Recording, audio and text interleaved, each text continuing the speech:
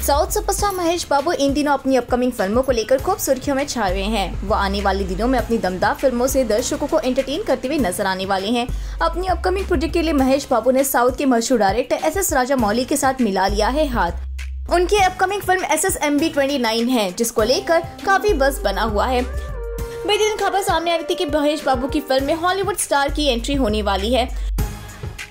जहाँ दर्शक महेश बाबू की फ़िल्म को लेकर उत्साहित नज़र आ रहे हैं तो वही अब खबरों के मुताबिक कहा जा रहा है कि महेश बाबू की film S S M B twenty nine में Thor fame superstar Chris Hemsworth नज़र आने वाले हैं। एक रिपोर्ट की माने तो इस फ़िल्म में उनका कैमियो होने वाला है।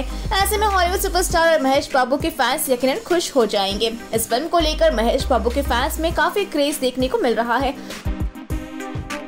ट्रिपल आर के बम्पर सक्सेस के बाद एस एस राजा मौली की लोकप्रियता न सिर्फ़ भारत में ही, बल्कि इंटरनेशनल लेवल तक भी काफ़ी बढ़ गई है।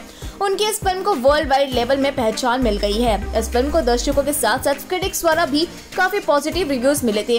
ऐसे में महेश बाबू और एस एस राजा मौली की जोड़ी को बड़े पर्दे पर देखने के लिए फैंस काफ़ी एक्साइटेड है। तो दोस्तों, इसको लेकर क्या है आपकी राय? कमेंट सेक्शन में बताना बिल्कुल भी ना भूले और हमारे चैनल को ज़रूर सब्सक्राइब करें।